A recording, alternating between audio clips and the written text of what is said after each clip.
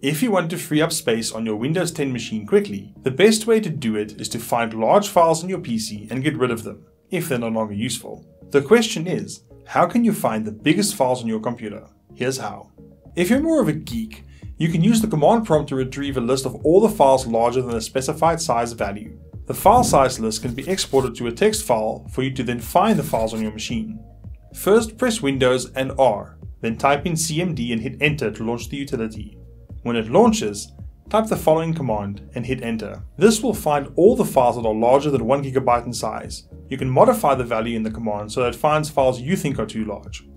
Open the newly created largefiles.txt file and it will have a list of all the files on your computer over the specified size. File Explorer and Command Prompt aren't the only tools to find large files on your Windows 10 computer. There are a few third-party apps as well that can help you find these massive files. Largest File Finder is one of these apps, and it will help you find the 100 largest files on your computer with ease. Download and launch the app on your computer. As soon as it launches, it automatically starts searching for large files on your computer. When done, you can review the results for yourself. If you want to delete any files from the search results, you can do so with ease from within the app. Simply right click on any of the files and select delete.